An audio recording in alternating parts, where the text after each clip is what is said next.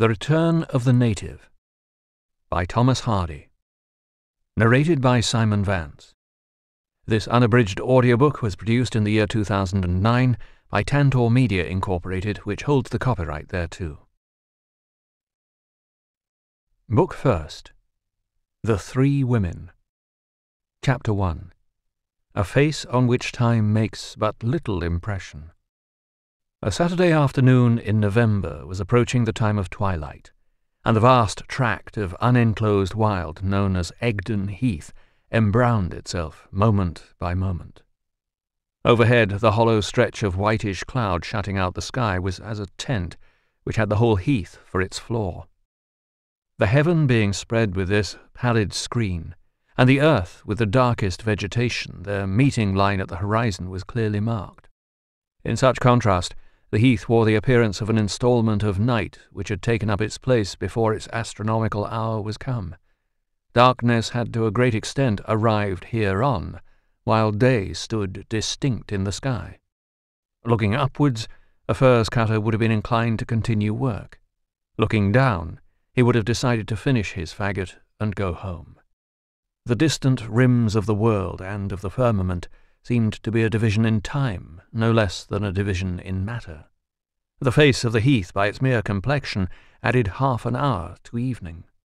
It could, in like manner, retard the dawn, sadden noon, anticipate the frowning of storms scarcely generated, and intensify the opacity of a moonless midnight to a cause of shaking and dread. In fact, Precisely at this transitional point of its nightly roll into darkness, the great and particular glory of the Egdon waste began, and nobody could be said to understand the heath who had not been there at such a time. It could best be felt when it could not clearly be seen, its complete effect and explanation lying in this and the succeeding hours before the next dawn. Then, and only then, did it tell its true tale. The spot was indeed a near relation of night, and when night showed itself, an apparent tendency to gravitate together could be perceived in its shades and the scene. The sombre stretch of rounds and hollows seemed to rise and meet the evening gloom in pure sympathy, the heath exhaling darkness as rapidly as the heavens precipitated it. And so the obscurity in the air and the obscurity in the land closed together in a black fraternization towards which each advanced halfway. The place became full of a watchful intentness now, for when other things sank brooding to sleep, the heath appeared slowly to awake and listen. Every night its titanic form seemed to await something. But it had waited thus, unmoved, during so many centuries, through the crises of so many things, that it could only be imagined to await one last crisis, the final overthrow. It was a spot which returned upon the memory of those who loved it with an aspect of peculiar and kindly congruity. Smiling champaigns of flowers and fruit hardly do this, for they are permanently harmonious only with an existence of better reputation as to its issues than the present. Twilight combined with the scenery of Egdon Heath to evolve a thing majestic without severity, impressive without showiness, emphatic in its admonitions, grand in its simplicity. The qualifications which frequently invest the facade of a prison with far more dignity than is found in the facade of a palace double its size, lent to this heath a sublimity in which spots renowned for beauty of the accepted kind are utterly wanting. Fair prospects wed happily with fair times. But alas, if times be not fair, Men have oftener suffered from the mockery of a place too smiling for their reason than from the oppression of surroundings over sadly tinged. Haggard Egdon appealed to a subtler and scarcer instinct, to a more recently learnt emotion than that which responds to the sort of beauty called charming and fair. Indeed, it is a question if the exclusive reign of this orthodox beauty is not approaching its last quarter. The new Vale of Tempe may be a gaunt waste in Thule. Human souls may find themselves in closer and closer harmony with external things wearing a sombreness distasteful to our race when it was young. The time seems near, if it has not actually arrived, when the chastened sublimity of a moor, a sea, or a mountain will be all of nature that is absolutely in keeping with the moods of the more thinking among mankind. And ultimately, to the commonest tourist, spots like Iceland may become what the vineyards and myrtle gardens of South Europe are to him now. And Heidelberg and Baden they passed unheeded as he hastes from the Alps to the sand dunes of Scheveningen. The most thoroughgoing ascetic could feel that he had a natural right to wander on Egdon. He was keeping within the lines of legitimate indulgence when he laid himself open to influences such as these. Colours and beauties so far subdued were, at least, the birthright of all. Only in summer days of highest feather did its mood touch the level of gaiety.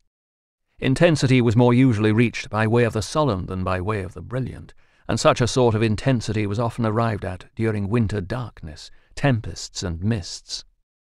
Then Egdon was aroused to reciprocity, for the storm was its lover, and the wind its friend. Then it became the home of strange phantoms, and it was found to be the hitherto unrecognized original of those wild regions of obscurity which are vaguely felt to be compassing us about in midnight dreams of flight and disaster, and are never thought of after the dream till revived by scenes like this. It was at present a place perfectly accordant with man's nature, neither ghastly, hateful, nor ugly, neither commonplace, unmeaning, nor tame, but, like man, slighted and enduring, and withal singularly colossal and mysterious in its swarthy monotony. As with some persons who have long lived apart, solitude seemed to look out of its countenance. It had a lonely face, suggesting tragical possibilities. This obscure, obsolete, superseded country figures in Domesday. Its condition is recorded therein as that of heathy, furzy, briery wilderness, bruaria, then follows the length and breadth in leagues. And though some uncertainty exists as to the exact extent of this ancient lineal measure, it appears from the figures that the area of Egdon down to the present day has but little diminished. Turbaria bruaria. The right of cutting heath turf occurs in charters relating to the district. Overgrown with heath and moss, says Leland, of the same dark sweep of country. Here at least were intelligible facts regarding landscape, far-reaching proofs productive of genuine satisfaction. The untamable Ishmaelitish thing that Egdon now was, it always had been.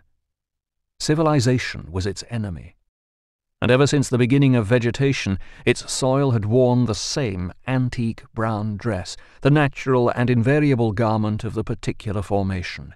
In its venerable one coat lay a certain vein of satire on human vanity in clothes. A person on a heath in raiment of modern cut and colours has more or less an anomalous look. We seem to want the oldest and simplest human clothing, where the clothing of the earth is so primitive.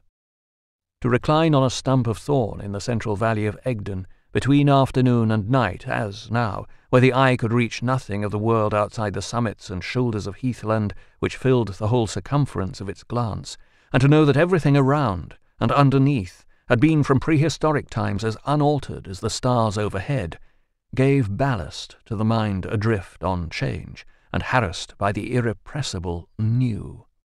The great inviolate place had an ancient permanence which the sea cannot claim. Who can say of a particular sea that it is old, Distilled by the sun, kneaded by the moon, it is renewed in a year, in a day, or in an hour. The sea changed, the fields changed, the rivers, the villages, and the people changed. Yet Egdon remained. Those surfaces were neither so steep as to be destructible by weather, nor so flat as to be the victims of floods and deposits with the exception of an aged highway and a still more aged barrow presently to be referred to, themselves almost crystallized to natural products by long continuance, even the trifling irregularities were not caused by pickaxe, plough, or spade, but remained as the very finger touches of the last geological change.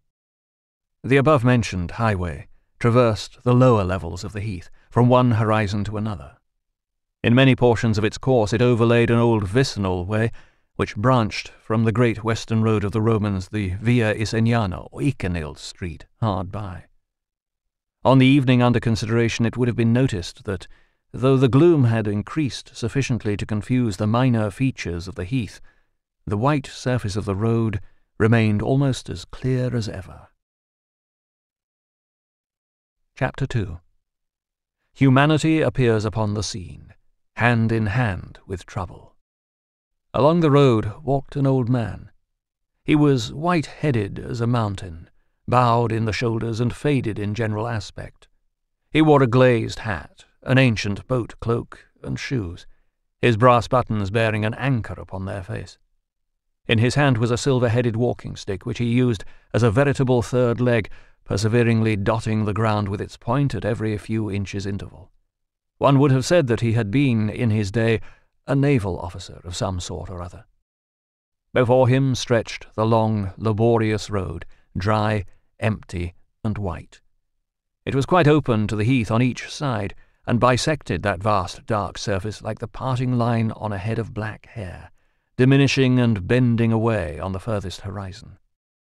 The old man frequently stretched his eyes ahead to gaze over the tract that he had yet to traverse. At length he discerned, a long distance in front of him, a moving spot which appeared to be a vehicle, and it proved to be going the same way as that in which he himself was journeying. It was the single atom of life that the scene contained, and it only served to render the general loneliness more evident. Its rate of advance was slow, and the old man gained upon it sensibly. When he drew nearer, he perceived it to be a spring van, ordinary in shape but singular in colour, this being a lurid red. The driver walked beside it, and, like his van, he was completely red. One dye of that tincture covered his clothes, the cap upon his head, his boots, his face, and his hands. He was not temporarily overlaid with the colour. It permeated him. The old man knew the meaning of this. The traveller with the cart was a reddleman, a person whose vocation it was to supply farmers with reddle for their sheep. He was one of a class rapidly becoming extinct in Wessex, filling at present in the rural world the place which, during the last century, the dodo occupied in the world of animals. He is a curious, interesting, and nearly perished link between obsolete forms of life and those which generally prevail. The decayed officer by degrees came up alongside his fellow wayfarer, and wished him good evening. The reddleman turned his head and replied in sad and occupied tones. He was young, and his face, if not exactly handsome, approached so near to handsome that nobody would have contradicted an assertion that it really was so in its natural colour. His eye, which glared so strangely through his stain, was in itself attractive, keen as that of a bird of prey and blue as autumn mist. He had neither whisker nor moustache, which allowed the soft curves of the lower part of his face to be apparent. His lips were thin, and though, as it seemed, compressed by thought, there was a pleasant twitch at their corners now and then. He was clothed throughout in a tight-fitting suit of corduroy, excellent in quality, not much worn and well chosen for its purpose, but deprived of its original colour by his trade. It showed to advantage the good shape of his figure. A certain well-to-do air about the man suggested that he was not poor for his degree. The natural query of an observer would have been why should such a promising being as this have hidden his prepossessing exterior by adopting that singular occupation? After replying to the old man's greeting, he showed no inclination to continue in talk, although they still walked side by side, for the elder traveller seemed to desire company. There were no sounds, but that of the booming wind upon the stretch of tawny herbage around them, the crackling wheels, the tread of the men, and the footsteps of the two shaggy ponies which drew the van. They were small, hardy animals, of a breed between Galloway and Exmoor, and were known as heath croppers here. Now, as they thus pursued their way, the reddleman occasionally left his companion's side and, stepping behind the van, looked into its interior through a small window. The look was always anxious. He would then return to the old man, who made another remark about the state of the country, and so on, to which the reddleman again abstractedly replied, and then again they would lapse into silence. The silence conveyed to neither any sense of awkwardness.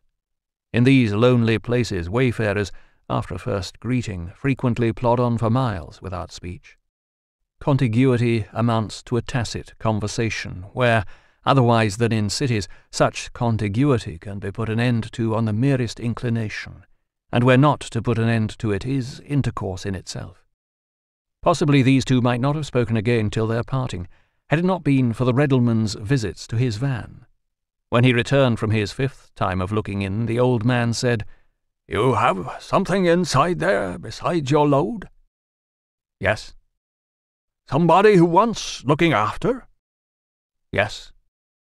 Not long after this, a faint cry sounded from the interior. The Reddleman hastened to the back, looked in, and came away again. You have a child there, my man? No, sir. I have a woman. The deuce you have. Why did she cry out? Oh, she has fallen asleep, and not being used to travelling, she's uneasy and keeps dreaming. A young woman? Yes, a young woman. That would have interested me forty years ago. Perhaps she's your wife? My wife, said the other bitterly. She's above mating with such as I. But there's no reason why I should tell you about that. That's true. And there's no reason why you should not. What harm can I do to you or to her? The Reddleman looked in the old man's face.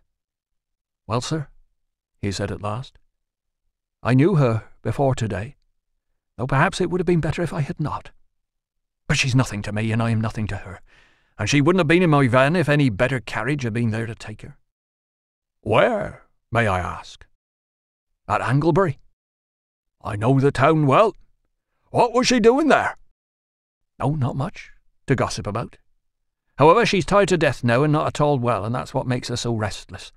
She dropped off into a nap about an hour ago, and 'twill do her good. A nice-looking girl, no doubt. You would say so. The other traveller turned his eyes with interest towards the van window, and, without withdrawing them, said, I presume I might look in upon her? No, said the Reddleman abruptly. It is getting too dark for you to see much of her, and more than that I have no right to allow you. Thank God she sleeps so well I hope she won't wake till she's home. Who is she? One of the neighbourhood? Tis no matter who, excuse me. It is not that girl of Bloom's End, who's been talked about more or less lately. If so, I know her, and I can guess what has happened. Tis no matter. Now, sir, I am sorry to say that we shall soon have to part company. My ponies are tired, and I have further to go, and I am going to rest them under this bank for an hour. The elder traveller nodded his head indifferently, and the Reddleman turned his horses and van in upon the turf, saying, Good night, the old man replied and proceeded on his way as before. The Reddleman watched his form as it diminished to a speck on the road and became absorbed in the thickening films of night.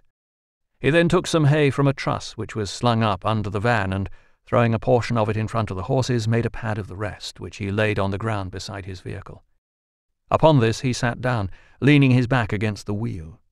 From the interior a low, soft breathing came to his ear. It appeared to satisfy him, and he musingly surveyed the scene as if considering the next step that he should take. To do things musingly, and by small degrees, seemed indeed to be a duty in the Egdon valleys at this transitional hour, for there was that in the condition of the heath itself which resembled protracted and halting dubiousness. It was the quality of the repose appertaining to the scene. This was not the repose of actual stagnation, but the apparent repose of incredible slowness, a condition of healthy life so nearly resembling the torpor of death is a noticeable thing of its sort. To exhibit the inertness of the desert, and at the same time to be exercising powers akin to those of the meadow and even of the forest, awakened in those who thought of it the attentiveness usually engendered by understatement and reserve. The scene before the Reddleman's eyes was a gradual series of ascents from the level of the road backward into the heart of the heath. It embraced hillocks, pits, ridges, acclivities, one behind the other, till all was finished by a high hill cutting against the still light sky. The traveller's eye hovered about these things for a time, and finally settled upon one noteworthy object up there. It was a barrow.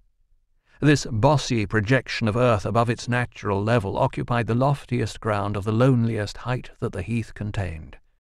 Although from the vale it appeared but as a wart on an Atlantean brow, its actual bulk was great.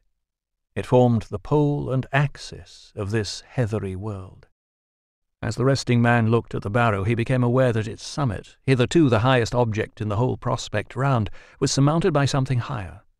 It rose from the semi-globular mound like a spike from a helmet.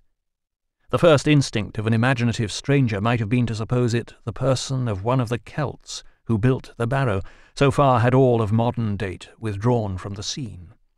It seemed a sort of last man among them, musing for a moment before dropping into eternal night with the rest of his race.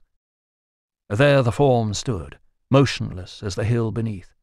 Above the plain rose the hill, above the hill rose the barrow, and above the barrow rose the figure.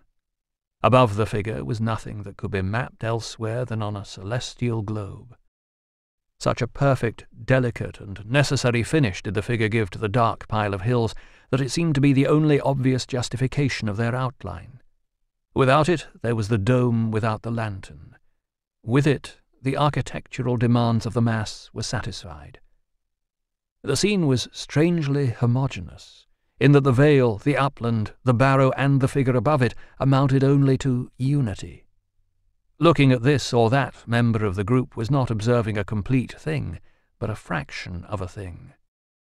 The form was so much like an organic part of the entire motionless structure that to see it move would have impressed the mind as a strange phenomenon, immobility being the chief characteristic of that whole which the person formed portion of. The discontinuance of immobility in any quarter suggested confusion. Yet that is what happened. The figure perceptibly gave up its fixity, shifted a step or two, and turned round. As if alarmed, it descended on the right side of the barrow with the glide of a water drop down a bud, and then vanished. The movement had been sufficient to show more clearly the characteristics of the figure, and that it was a woman's. The reason of her sudden displacement now appeared. With her dropping out of sight on the right side, a newcomer bearing a burden protruded into the sky on the left side, ascended the tumulus, and deposited the burden on the top. A second followed, then a third, a fourth, a fifth, and ultimately the whole barrow was peopled with burdened figures. The only intelligible meaning in this sky-backed pantomime of silhouettes was that the woman had no relation to the forms who had taken her place, was sedulously avoiding these, and had come thither for another object than theirs.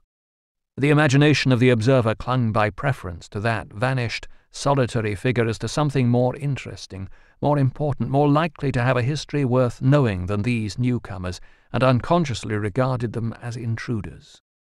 But they remained and established themselves, and the lonely person who hitherto had been queen of the solitude did not at present seem likely to return. Chapter 3 The Custom of the Country Had a looker-on been posted in the immediate vicinity of the barrow, he would have learned that these persons were boys and men of the neighbouring hamlets. Each, as he ascended the barrow, had been heavily laden with furze faggots, carried upon the shoulder by means of a long stake sharpened at each end for impaling them easily, two in front and two behind. They came from a part of the heath a quarter of a mile to the rear, where furze almost exclusively prevailed as a product. Each individual was so involved in furze by his method of carrying the faggots that he appeared like a bush on legs till he had thrown them down. The party had marched in trail, like a travelling flock of sheep, that is to say, the strongest first, the weak and young behind. The loads were all laid together, and a pyramid of furze thirty feet in circumference now occupied the crown of the tumulus, which was known as Rainbarrow for many miles round. Some made themselves busy with matches and in selecting the driest tufts of furze, others in loosening the bramble bonds which held the faggots together. Others, again, while this was in progress, lifted their eyes and swept the vast expanse of country commanded by their position, now lying nearly obliterated by shade. In the valleys of the heath, nothing save its own wild face was visible at any time of day, but this spot commanded a horizon enclosing a tract of far extent, and in many cases lying beyond the heath country. None of its features could be seen now, but the whole made itself felt as a vague stretch of remoteness. While the men and lads were building the pile, a change took place in the mass of shade which denoted the distant landscape. Red suns and tufts of fire one by one began to arise, flecking the whole country round. They were the bonfires of other parishes and hamlets that were engaged in the same sort of commemoration. Some were distant and stood in a dense atmosphere, so that bundles of pale straw-like beams radiated around them in the shape of a fan. Some were large and near, glowing scarlet red from the shade, like wounds in a black hide. Some were Maenades, with winy faces and blown hair. These tinctured the silent bosom of the clouds above them and lit up their ephemeral caves, which seemed thenceforth to become scalding cauldrons. Perhaps as many as thirty bonfires could be counted within the whole bounds of the district. And as the hour may be told on a clock face when the figures themselves are invisible, so did the men recognize the locality of each fire by its angle and direction, though nothing of the scenery could be viewed. The first tall flame from rain Rainbarrow sprang into the sky, attracting all eyes that had been fixed on the distant conflagrations back to their own attempt in the same kind. The cheerful blaze streaked the inner surface of the human circle, now increased by other stragglers, male and female, with its own gold livery, and even overlaid the dark turf around with a lively luminousness which softened off into obscurity where the barrow rounded downwards out of sight. It showed the barrow to be the segment of a globe, as perfect as on the day when it was thrown up, even the little ditch remaining from which the earth was dug. Not a plough had ever disturbed a grain of that stubborn soil. In the heath's barrenness to the farmer lay its fertility to the historian. There had been no obliteration, because there had been no tending. It seemed as if the bonfire makers were standing in some radiant upper story of the world, detached from and independent of the dark stretches below. The heath down there was now a vast abyss, and no longer a continuation of what they stood on. For their eyes, adapted to the blaze, could see nothing of the deeps beyond its influence.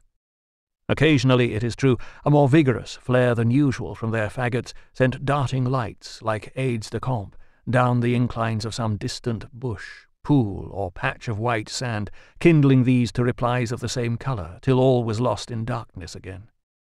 Then the whole black phenomenon beneath represented limbo as viewed from the brink by the sublime Florentine in his vision, and the muttered articulations of the wind in the hollows were as complaints and petitions from the souls of mighty worth suspended therein. It was as if these men and boys had suddenly dived into past ages, and fetched therefrom an hour and deed which had before been familiar with this spot. The ashes of the original British pyre which blazed from that summit lay fresh and undisturbed in the barrow beneath their tread. The flames from funeral piles long ago kindled there had shone down upon the lowlands as these were shining now. Festival fires to Thor and Woden had followed on the same ground and newly had their day. Indeed, it is pretty well known that such blazes as this the heathmen were now enjoying are rather the lineal descendants from jumbled druidical rites and Saxon ceremonies than the invention of popular feeling about gunpowder plot. Moreover, to light a fire is the instinctive and resistant act of man when, at the winter ingress, the curfew is sounded throughout nature. It indicates a spontaneous, Promethean rebelliousness against that fiat that this recurrent season shall bring foul times, cold darkness, misery, and death. Black chaos comes, and the fettered gods of the earth say, Let there be light. The brilliant lights and sooty shades which struggled upon the skin and clothes of the persons standing round caused their lineaments and general contours to be drawn with Dürer-esque vigour and dash.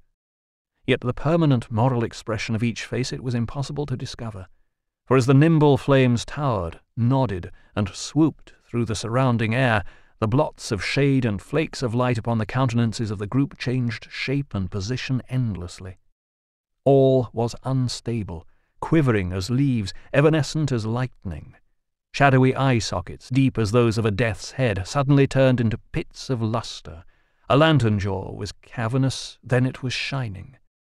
Wrinkles were emphasized to ravines or obliterated entirely by a changed ray. Nostrils were dark wells. Sinews in old necks were gilt mouldings. Things with no particular polish on them were glazed. Bright objects, such as the tip of a furze hook one of the men carried, were as glass. Eyeballs glowed like little lanterns. Those whom nature had depicted as merely quaint became grotesque.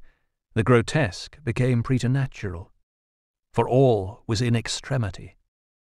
Hence it may be that the face of an old man, who had like others been called to the heights by the rising flames, was not really the mere nose and chin that it appeared to be, but an appreciable quantity of human countenance. He stood complacently sunning himself in the heat. With a speaker or stake, he tossed the outlying scraps of fuel into the conflagration, looking at the midst of the pile, occasionally lifting his eyes to measure the height of the flame, or to follow the great sparks which rose with it and sailed away into darkness. The beaming sight and the penetrating warmth seemed to breed in him a cumulative cheerfulness which soon amounted to delight. With his stick in his hand he began to jig a private minuet, a bunch of copper seals shining and swinging like a pendulum from under his waistcoat. He also began to sing, in the voice of a bee up a flue. The king called down his nobles all by one, by two, by three. Earl Marshal, I'll go shrive the queen, and thou shalt wend with me. A boon, a boon, quoth Earl Marshal, and fell on his bended knee. That whatsoe'er the queen shall say, no harm thereof may be. Want of breath prevented a continuance of the song, and the breakdown attracted the attention of a firm-standing man of middle age, who kept each corner of his crescent-shaped mouth rigorously drawn back into his cheek, as if to do away with any suspicion of mirthfulness which might erroneously have attached to him. A fair stave, Granfer Cantle, but I'm afeard 'tis too much for the mouldy weasand of such an old man as you, he said to the wrinkled reveller. Doesn't wish to was three sixes again, Granfer, as you was when you first learnt to sing it? Hey? said Granfer Cantle, stopping in his dance. Doesn't wish wast young again, I say. There's a hole in thy poor bellows nowadays, seemingly. But there's good art in me. If I couldn't make a little wind go a long ways, I should seem no younger than the most aged man, should I, Timothy? And how about the new married folks down there at the Quiet Woman Inn? the other inquired, pointing towards a dim light in the direction of the distant highway, but considerably apart from where the Reddleman was at that moment resting. What's the rights of the matter about 'em? You ought to know, being an understanding man. But a little rakish, eh? I own to it. Master Cantle is that, or he's nothing. Yet 'tis a gay fault, neighbour Fairway. That age will cure. I heard that they were coming home tonight. By this time they must have come. What besides? The next thing is for us to go and wish him joy, I suppose. Well, no. No? Now, I thought we must. I must, or 'twould be very unlike me, the first in every spree that's going. Do thou put on a friar's coat, and I'll put on another, and we will to Queen Eleanor go, like friar and his brother. I met Mrs. Yeobright, the young bride's aunt, last night, and she told me that her son Clym was coming home at Christmas. Wonderful clever, I believe. Ah, I should like to have all that's under that young man's hair. Well, then, I spoke to her in my well-known merry way, and she said, Oh, that what's shaped so venerable should talk like a fool. That's what she said to me. I don't care for her, be jowned if I do, and so I told her. Be jowned if I care for he, I said. I had her there, eh? I rather think she had you, said Fairway. No, said Granfer Cantle, his countenance slightly flagging. Tisn't so bad as that with me. Seemingly tis, however. Is it because of the wedding that Clym is coming home at Christmas?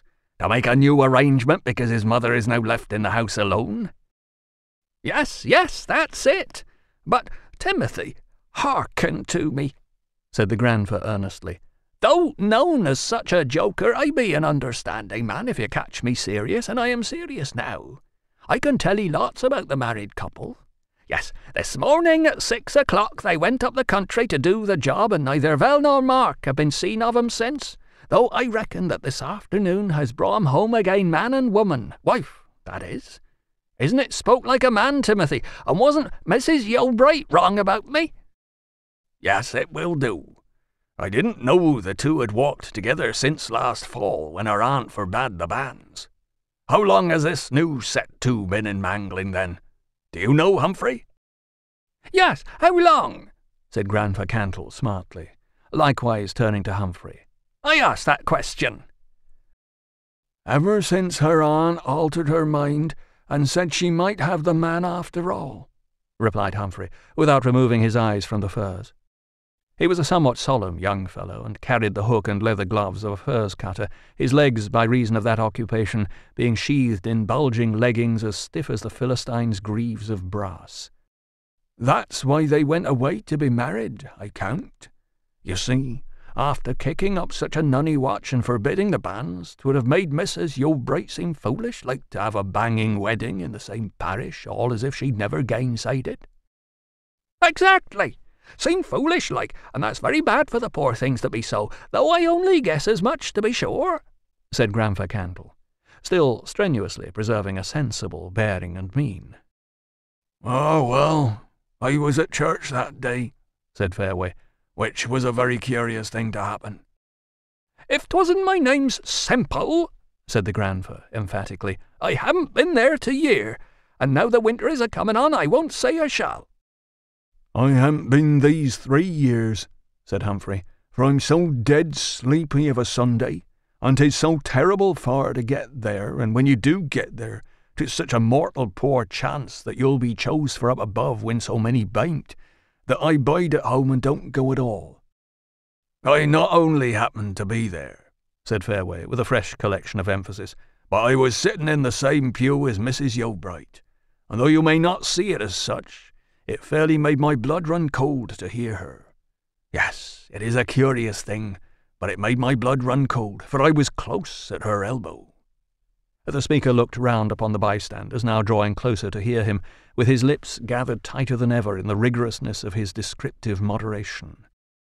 "'Tis a serious job to have things happen to 'ee there," said a woman behind. Ye are to declare it, was the parson's words, Fairway continued and then up stood a woman at my side, a touching of me. Well be damned if there isn't Mrs. Yeobright a standing up, I said to myself. Yes, neighbours, though I was in the temple of prayer, that's what I said.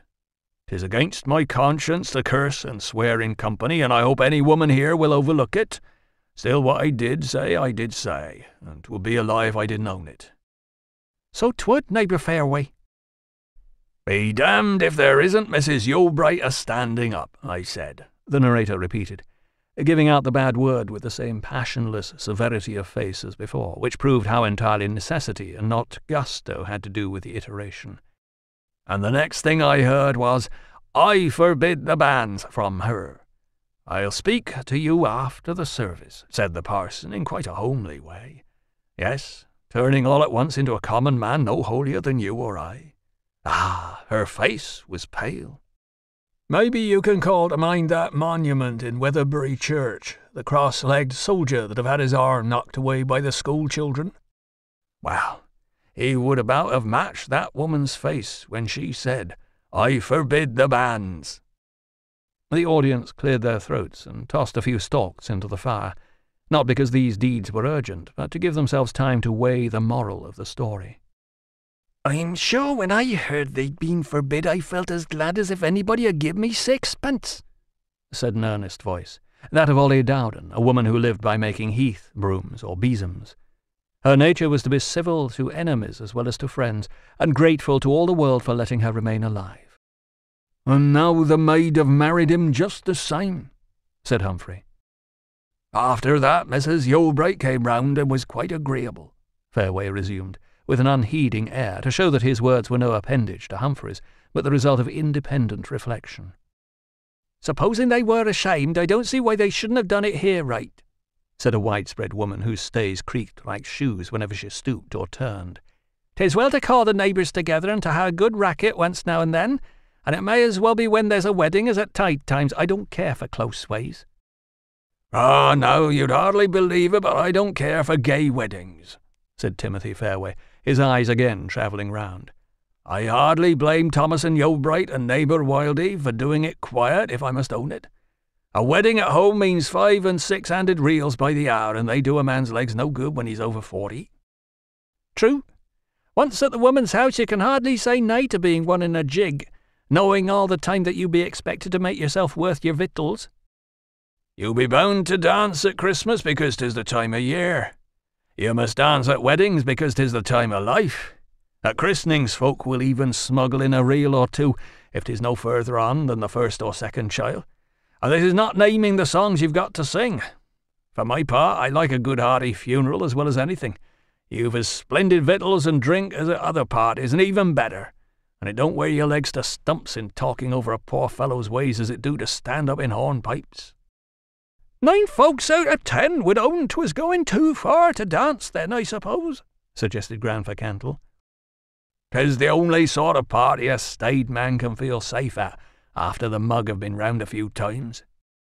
Well, I can't understand a quiet ladylike little body like Tamsin Yeobright caring to be married in such a mean way, said Susan Nonsuch, the wide woman, who preferred the original subject. 'Tis worse than the poorest do, and I shouldn't have cared about the man, though some may say he's good looking.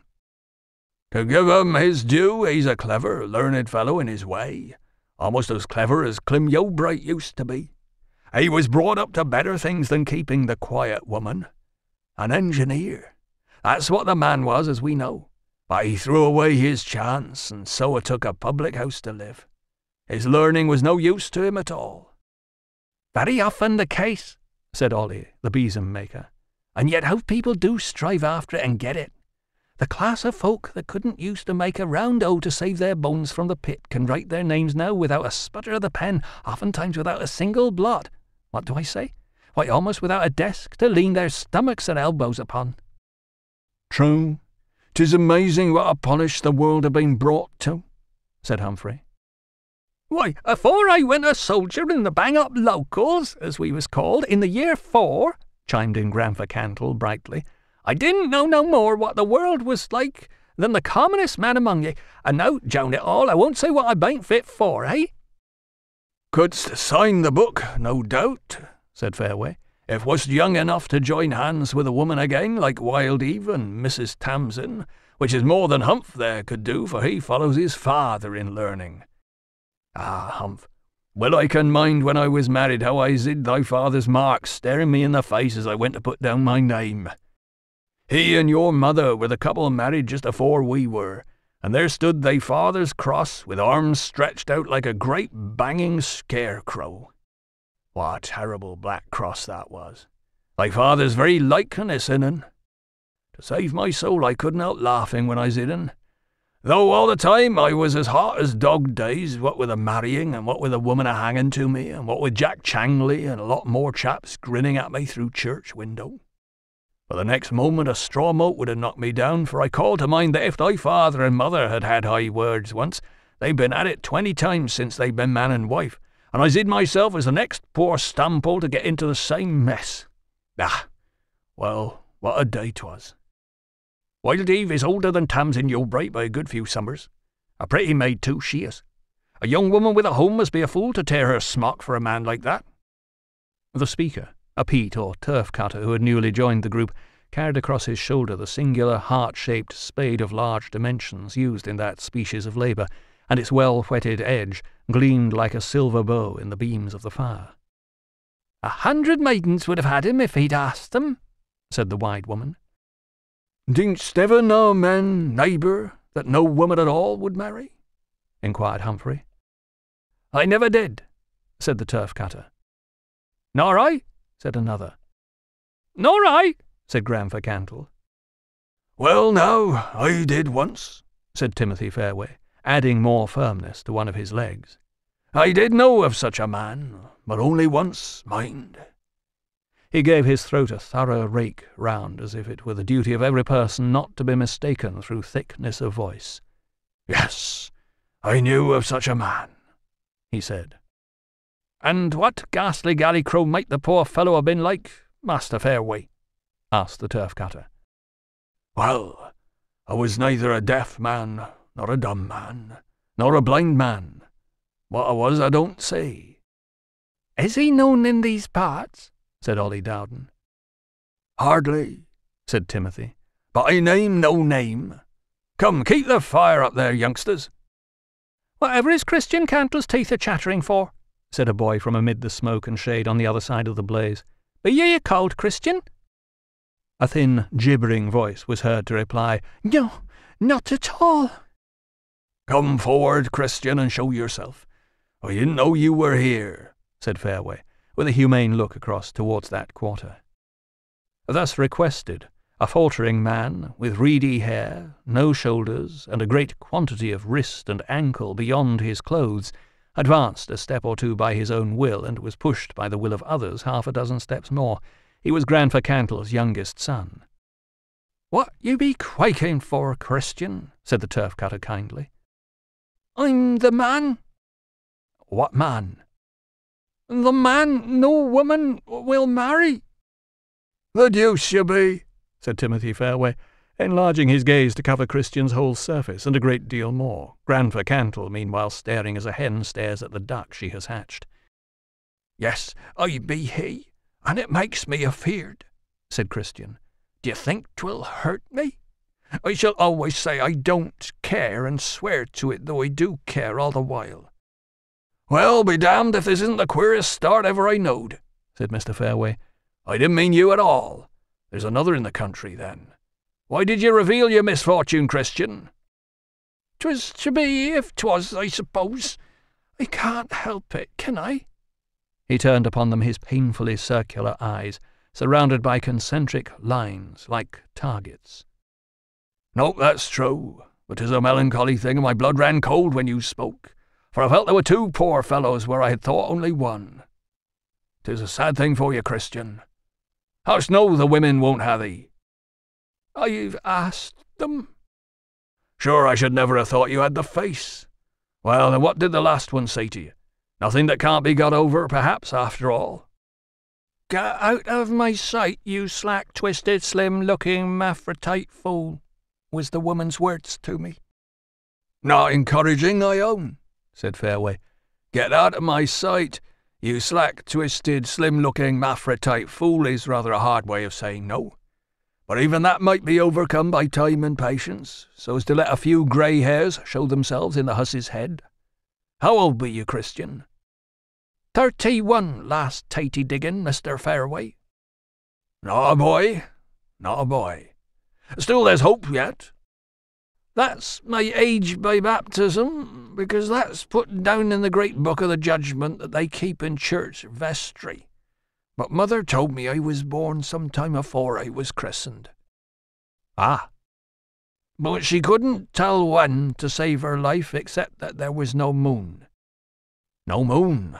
That's bad. Hey, neighbours, that's bad for him. Yes, 'tis bad, said Grandfer Cantle, shaking his head.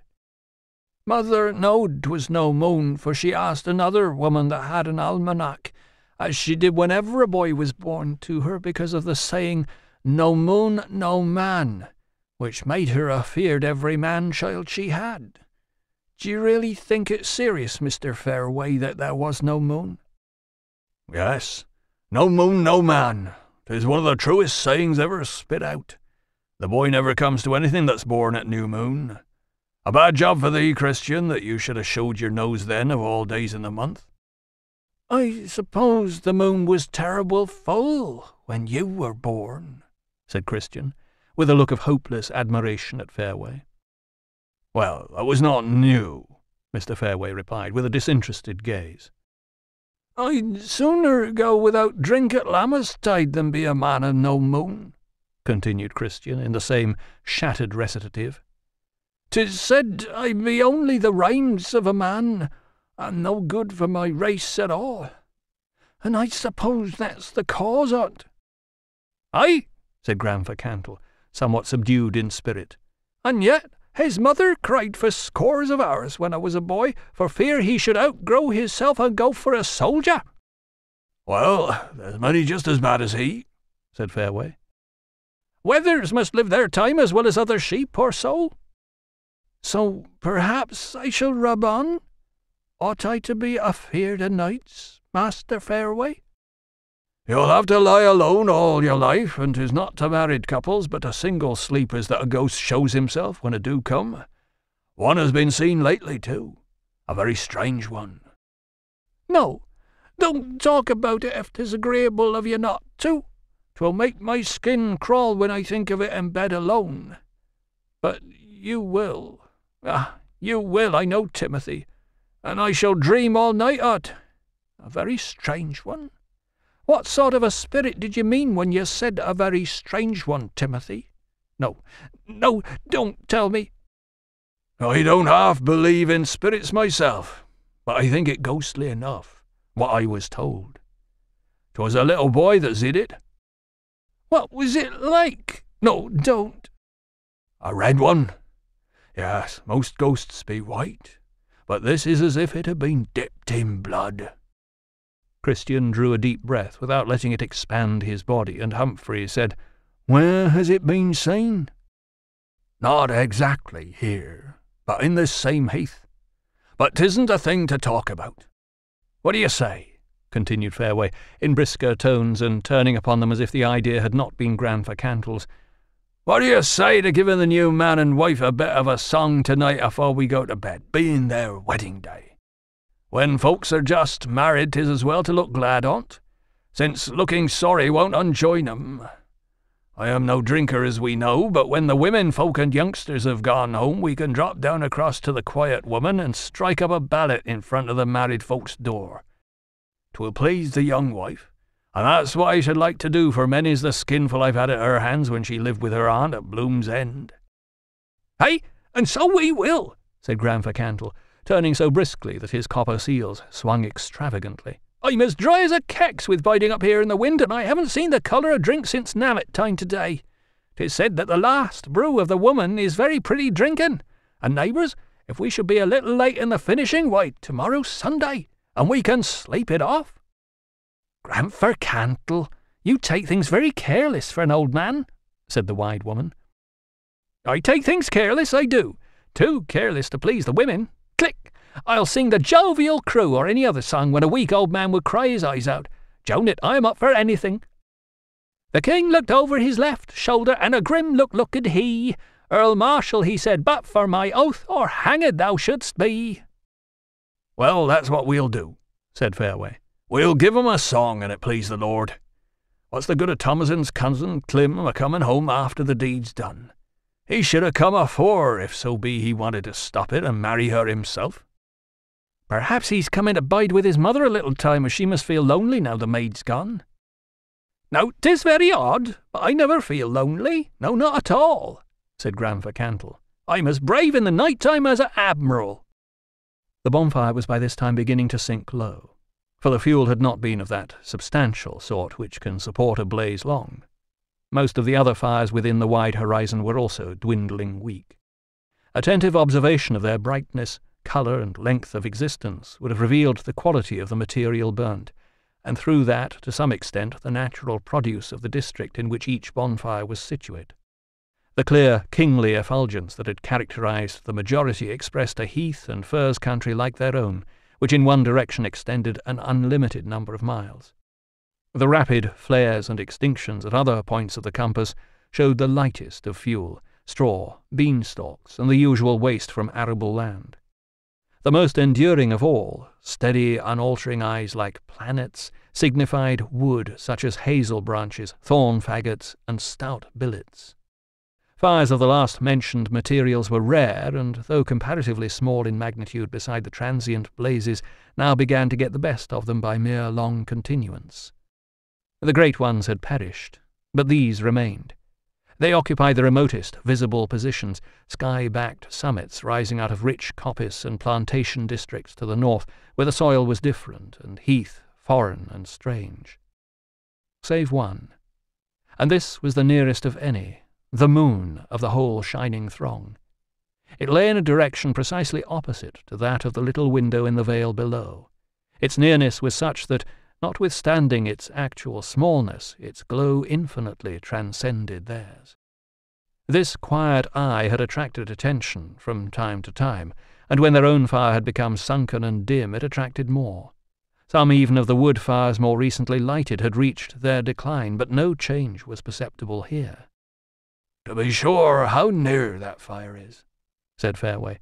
Seemingly. I can see a fellow of some sort walking round it.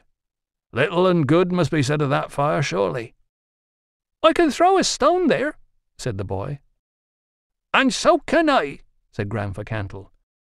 No, no, you can't, my son is. That fire is not much less than a mile off, for all that seems so near. "'Tis in the heath, but no furze," said the turf cutter. "'Tis cleft wood, that's what 'tis," said Timothy Fairway. "Nothing would burn like that except clean timber, and 'tis on the nap afore the old captain's house at Mistover. Such a queer mortal as that man is. To have a little fire inside your own bank and ditch that nobody else may enjoy it or come a nigh it. And what a zany old chap must be to light a bonfire when there's no youngsters to please. Captain Vye has been for a long walk to-day and is quite tired out, said Grandfer Cantle. So 'tisn't likely to be he. And he would hardly afford good fuel like that, said the wide woman. Then it must be his granddaughter, said Fairway. Not that a body of her age can want a fire much. She is very strange in her ways, living up there by herself, and such things please her, said Susan.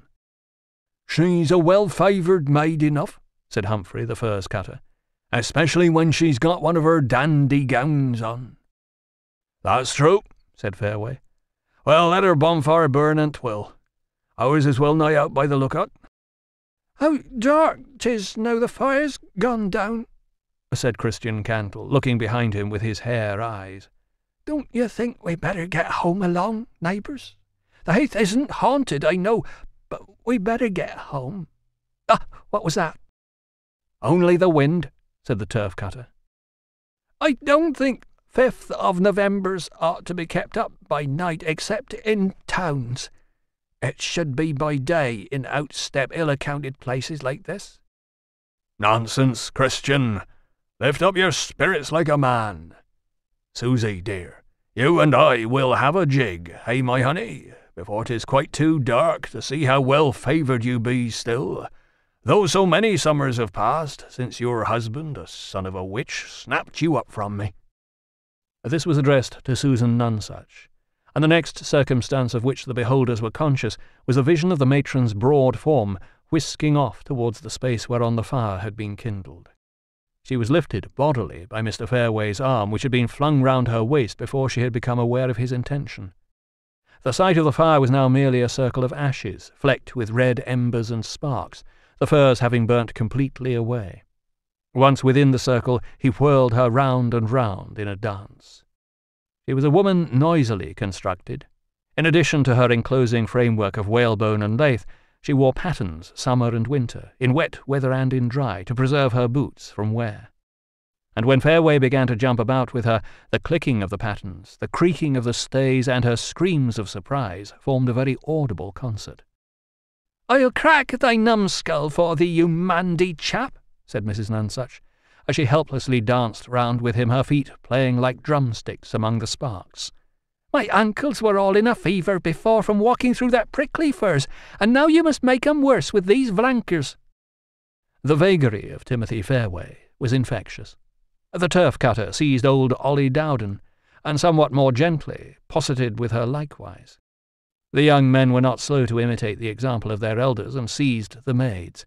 Grandfer Cantle and his stick jigged in the form of a three-legged object among the rest and in half a minute all that could be seen on Rainbarrow was a whirling of dark shapes amid a boiling confusion of sparks, which leapt around the dancers as high as their waists. The chief noises were women's shrill cries, men's laughter, Susan's stays and pattens, Ollie Dowden's he he he, and the strumming of the wind upon the furze bushes, which formed a kind of tune to the demoniac measure they trod. Christian alone stood aloof, uneasily rocking himself as he murmured, they ought not to do it. How the flankers do fly! Tis tempting the wicked one, tis. What was that? said one of the lads, stopping. Ah, where? said Christian, hastily closing up to the rest. The dancers all lessened their speed. "'Twas behind you, Christian, that I heard it, down here. Yes, tis behind me, Christian said. Matthew, Mark, Luke, and John, bless the bed that I lie on. Four angels, God. Hold your tongue. What is it? said Fairway. Hi! cried a voice from the darkness. Hello! said Fairway. Is there any cart track up across here to Mrs. Yeobright's of Bloom's End? Came to them in the same voice, as a long, slim, indistinct figure approached the barrow. Ought we not to run home as hard as we can, neighbours, as 'tis getting late? said Christian. Not run away from one another, you know. Run close together, I mean. Scrape up a few stray locks of furze and make a blaze so that we can see who the man is, said Fairway. When the flame arose, it revealed a young man in tight raiment and red from top to toe. Is there a track across here to Mrs. Yeobright's house? he repeated. Aye, keep along the path down there. I mean a way two horses and a van can travel over. Well, yes, you can get up the vale below here with time. The track is rough, but if you've got a light, your horses may pick along with care. Have you brought your cart far up, neighbour Reddleman? I've left it in the bottom about half a mile back. I stepped on in front to make sure of the way, as 'tis night time and I haven't been here for so long. Oh, well, you can get up, said Fairway. What a churn it did give me when I saw him, he added to the whole group, the Reddleman included. Lord's sake, I thought whatever fiery mummet is this come to trouble us? No slight to your looks, Reddleman, for you bain't bad looking in the groundwork, though the finish is queer. My meaning is just to say how curious I felt. I half thought it was the devil or the red ghost the boy told of. It give me a turn likewise, said Susan Nonsuch, for I had a dream last night of a death's head. Don't ye talk out no more, said Christian. If he had a handkerchief over his head, he'd look for all the world like the devil in the picture of the temptation. Well, thank you for telling me, said the young Reddleman, smiling faintly, and good night, y'all. He withdrew from their sight down the barrow. I fancy I've seen that young man's face before, said Humphrey, but where or how, or what his name is, I don't know. The Reddleman had not been gone more than a few minutes when another person approached the partially revived bonfire. It proved to be a well-known and respected widow of the neighbourhood, of a standing which can only be expressed by the word genteel. Her face, encompassed by the blackness of the receding heath, showed whitely, and without half-lights, like a cameo. She was a woman of middle age, with well-formed features of the type usually found where perspicacity is the chief quality enthroned within. At moments she seemed to be regarding issues from a Nebo denied to others around. She had something of an estranged mien. The solitude exhaled from the heath was concentrated in this face that had risen from it. The air with which she looked at the heathmen betokened a certain unconcern at their presence, or at what might be their opinions of her for walking in that lonely spot at such an hour, thus indirectly implying that in some respect or other they were not up to her level.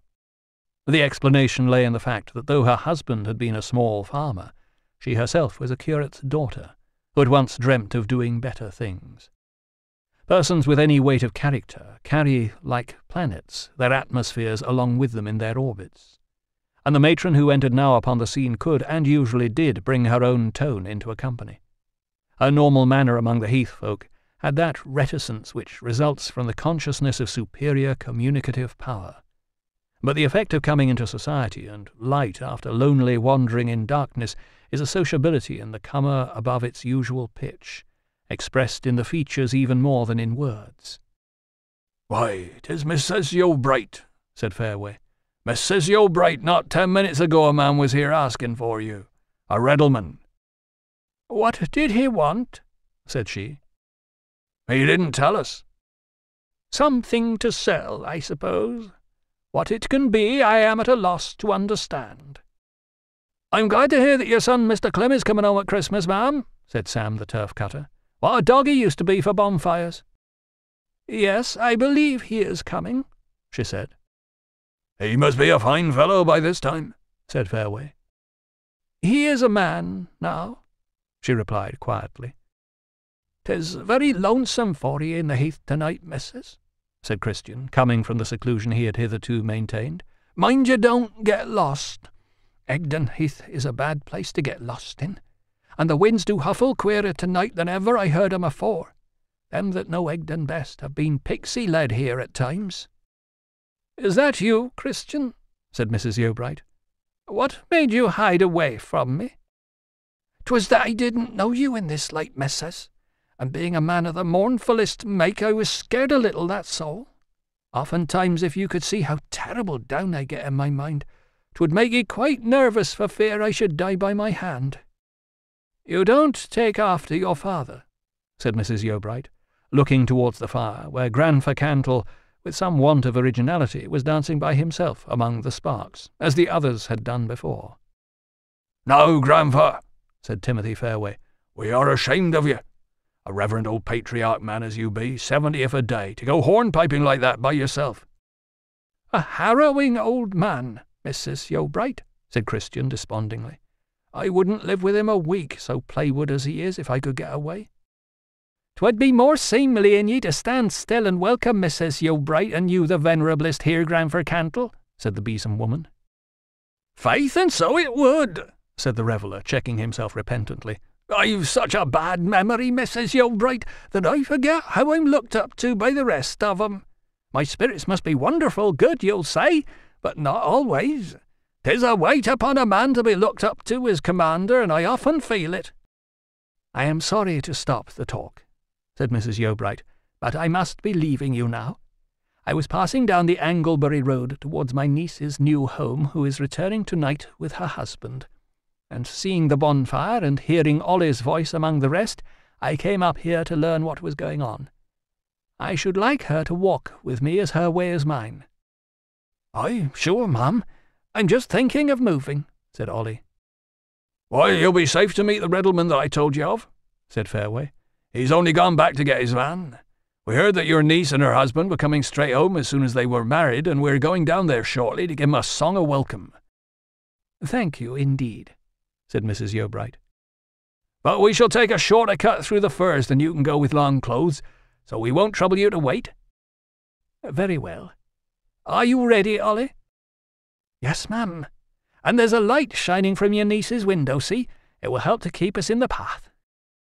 She indicated the faint light at the bottom of the valley, which Fairway had pointed out, and the two women descended the tumulus. Chapter 4 The Halt on the Turnpike Road Down, downward they went, and yet further down, their descent at each step seeming to outmeasure their advance.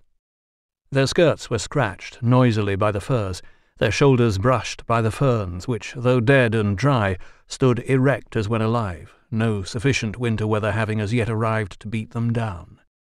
Their Tartarian situation might by some have been called an imprudent one for two unattended women. But these shaggy recesses were at all seasons a familiar surrounding to Ollie and Mrs. Yeobright, and the addition of darkness lends no frightfulness to the face of a friend. And so Tamsin has married him at last, said Ollie, when the incline had become so much less steep that their footsteps no longer required undivided attention. Mrs. Yeobright answered slowly. Yes, at last. How you will miss her, living with you as a daughter, as she always have. I do miss her. Ollie, though without the tact to perceive when remarks were untimely, was saved by her very simplicity from rendering them offensive. Questions that would have been resented in others she could ask with impunity. This accounted for Mrs. Yeobright's acquiescence in the revival of an evidently sore subject. I was quite struck to hear you'd agreed to it, ma'am, that I was, continued the besom maker. You were not more struck by it than I should have been last year this time, Ollie. There are a good many sides to that wedding. I could not tell you all of them, even if I tried. I felt myself that he was hardly solid going enough to mate with your family. Keeping an inn, what is it? But as clever, that's true, and they say he was an engineering gentleman once, but has come down by being too outwardly given. I saw that, upon the whole, it would be better she should marry where she wished. Poor little thing, her feelings got the better of her, no doubt. Tis nature. Well, they may call him what they will. He've several acres of heath ground broke up here, besides the public house and the heath croppers, and his manners be quite like a gentleman's, and what's done cannot be undone. It cannot, said Mrs. Yeobright. See, here's the waggon track at last. Now we shall get along better. The wedding subject was no further dwelt upon, and soon a faint diverging path was reached where they parted company, Ollie first begging her companion to remind Mr. Wildeve that he had not sent her sick husband the bottle of wine promised on the occasion of his marriage. The besom maker turned to the left towards her own house, behind a spur of the hill, and Mrs. Yeobright followed the straight track which further on joined the highway by the Quiet Woman Inn, whither she supposed her niece to have returned with Wildeve from their wedding at Anglebury that day. She first reached Wildeve's Patch, as it was called, a plot of land redeemed from the heath and after long and laborious years brought into cultivation. The man who had discovered that it could be tilled died of the labour. The man who succeeded him in possession ruined himself in fertilizing it. Wild Eve came like Amerigo Vespucci, and received the honours due to those who had gone before. When Mrs. Yeobright had drawn near to the inn and was about to enter, she saw a horse and vehicle some two hundred yards beyond it coming towards her, a man walking alongside with a lantern in his hand. It was soon evident that this was the Reddleman who had inquired for her. Instead of entering the inn at once, she walked by it and towards the van. The conveyance came close, and the man was about to pass her with little notice, when she turned to him and said, I think you have been inquiring for me. I am Mrs. Yeobright of Bloom's End. The Reddleman started and held up his finger. He stopped the horses and beckoned to her to withdraw with him a few yards aside, which she did, wondering. You don't know me, ma'am, I suppose? he said. I do not, said she. Why, yes, I do. You are young Venn. Your father was a dairyman somewhere here. Yes, and I knew your niece, Miss Tamsin, a little. I have something bad to tell you. About her? No. She has just come home, I believe, with her husband. They arranged to return this afternoon, to the inn beyond here. She's not there. How do you know? Because she's here. She's in my van, he added slowly. What new trouble has come? murmured Mrs. Yeobright, putting her hand over her eyes. I can't explain much, ma'am. All I know is that as I was going along the road this morning, about a mile out of Anglebury, I heard something trotting after me like a doe, and looking round there she was, white as death itself. Oh, Diggory Venn, she said, I thought 'twas you. Will you help me? I am in trouble. How did she know your Christian name? said Mrs. Yeobright doubtingly. I had met her as a lad before I went away in this trade. She asked then if she might ride, and then down she fell in a faint. I picked her up and put her in, and there she has been ever since. She has cried a good deal, but she has hardly spoke, all she has told me being that she was to have been married this morning. I tried to get her to eat something, but she couldn't, and at last she fell asleep. Let me see her at once, said Mrs. Yeobright, hastening towards the van. The Reddleman followed with the lantern, and, stepping up first, assisted Mrs. Yeobright to mount beside him.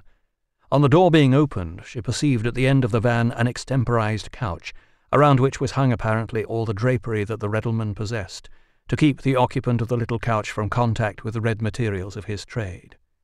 A young girl lay thereon, covered with a cloak. She was asleep, and the light of the lantern fell upon her features. A fair, sweet, and honest country face was revealed, reposing in a nest of wavy chestnut hair. It was between pretty and beautiful.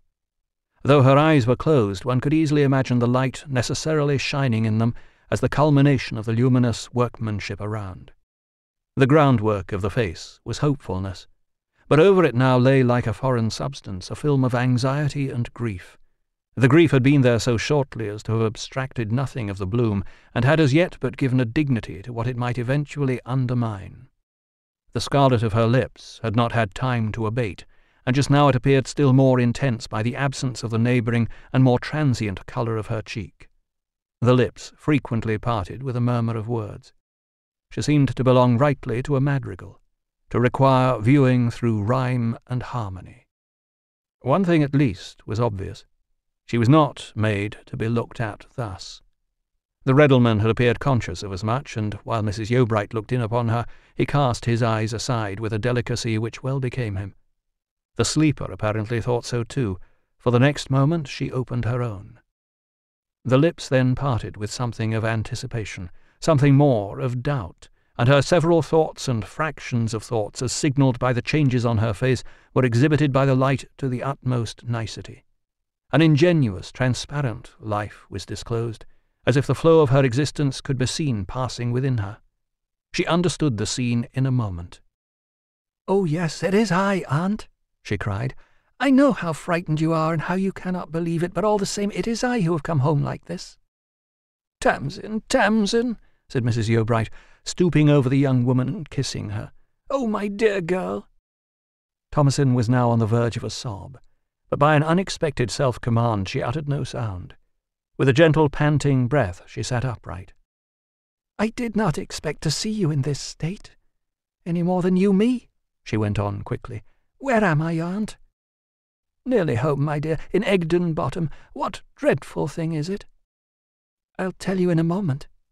So near, are we? Then I will get out and walk. I want to go home by the path. But this kind man who has done so much will, I am sure, take you right on to my house, said the aunt, turning to the Reddleman, who had withdrawn from the front of the van on the awakening of the girl, and stood in the road. Why should you think it necessary to ask me? I will, of course, said he. He is indeed kind, murmured Thomasin. I was once acquainted with him, aunt, and when I saw him today I thought I should prefer his van to any conveyance of a stranger. But I'll walk now. Reddleman, stop the horses, please. The man regarded her with tender reluctance, but stopped them. Aunt and niece then descended from the van, Mrs. Yeobright saying to its owner, I quite recognize you now. What made you change from the nice business your father left you? Well, I did, he said, and looked at Thomasin, who blushed a little. Then you'll not be wanting me any more tonight, ma'am? Mrs. Yeobright glanced around at the dark sky, at the hills, at the perishing bonfires, and at the lighted window of the inn they had neared. I think not, she said, since Thomasin wishes to walk. We can soon run up the path and reach home. We know it well. And after a few further words they parted, the Reddleman moving onwards with his van, the two women remaining standing in the road. As soon as the vehicle and its driver had withdrawn so far as to be beyond all possible reach of her voice, Mrs. Yeobright turned to her niece. Now, Thomasin, she said sternly, what's the meaning of this disgraceful performance? Chapter 5 Perplexity among honest people. Thomasin looked as if quite overcome by her aunt's change of manner. It means just what it seems to mean. I am not married, she replied faintly. Excuse me for humiliating you, aunt, by this mishap. I am sorry for it, but I cannot help it. Me? Think of yourself first. It was nobody's fault. When we got there, the parson wouldn't marry us because of some trifling irregularity in the license. What irregularity? I don't know. Mr. Wildeve can explain. I did not think when I went away this morning that I should come back like this. It being dark, Thomasin allowed her emotion to escape her by the silent way of tears, which could roll down her cheek unseen. I could almost say that it serves you right, if I did not feel that you don't deserve it, continued Mrs. Yeobright, who, possessing two distinct moods in close contiguity, a gentle mood and an angry, flew from one to the other without the least warning. Remember, Thomasin, this business was none of my seeking. From the very first, when you began to feel foolish about that man, I warned you he would not make you happy. I felt it so strongly that I did what I would never have believed myself capable of doing, stood up in the church and made myself the public talk for weeks. But having once consented, I don't submit to these fancies without good reason. Marry him you must, after this. Do you think I wish to do otherwise for one moment? said Thomasin, with a heavy sigh.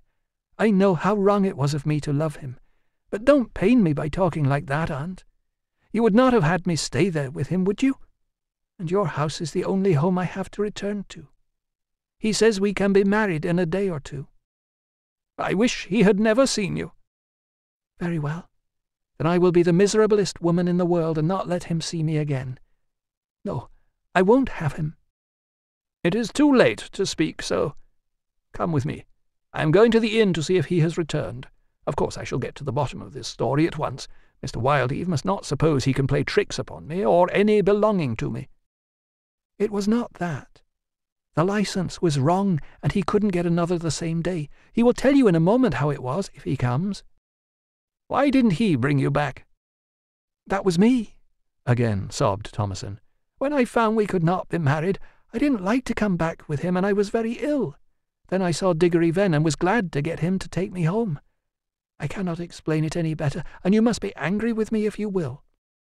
I shall see about that, said Mrs. Yeobright, and they turned towards the inn, known in the neighbourhood as the Quiet Woman, the sign of which represented the figure of a matron carrying her head under her arm, beneath which gruesome design was written the couplet so well known to frequenters of the inn.